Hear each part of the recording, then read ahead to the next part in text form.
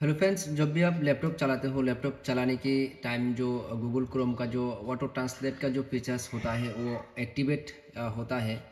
तो फिर क्या होता है कि आप कुछ भी साइट खोलो, खोलने के बाद ऑटोमेटिकली ट्रांसलेट होके बांग्ला या फिर और भी दूसरा लैंग्वेज पे आ जाती है।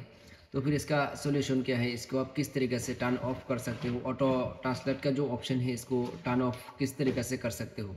आइए देखते हैं। उसके लिए पहले आपको जाना है ऊपर, देखिए यहाँ पर राइट साइड पर थ्री डॉट होंगे। इस पर आपको क्लिक कर देना है। इस पर क्लिक करने के बाद आपको जाना है नीचे। उसके बाद आपको यहाँ पर दबाना है सेटिंग के अंदर। सेटिंग के अंदर दबाने के बाद यहाँ पर देखिए लैंग्वेज का ऑप्शन मिलेंगे। इस पर आपको क्लिक कर देना है।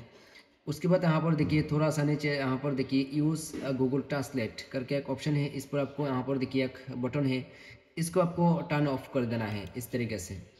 इसको टर्न ऑफ़ करने के बाद आपका जो ऑटो ट्रांसलेट का जो फ़ंक्शन है, वो काम नहीं करेंगे ऑटो ट्रांसलेट नहीं होंगे कोई भी पेजेस अब यहाँ पर देखिए, पहले यहाँ पर बांग्ला में आ रहा था, अब यहाँ पर देखिए इंग्लिश में आ रहा है। यानी कि मैं जो चेंजेस किया हुआ यहाँ पर चेंजेस प्रॉपरली काम कर रहा है। अगर आपको ये वीडियो अच्छी लगे तो फिर वीडियो को लाइक करें शेयर करें कमेंट करें और साथ ही साथ मेरे चैनल को भी सब्सक्राइब करें, क्योंकि मैं इसी तरह इंटरेस्टिंग और यूज़फुल वीडियो लेके आता रहता हूँ।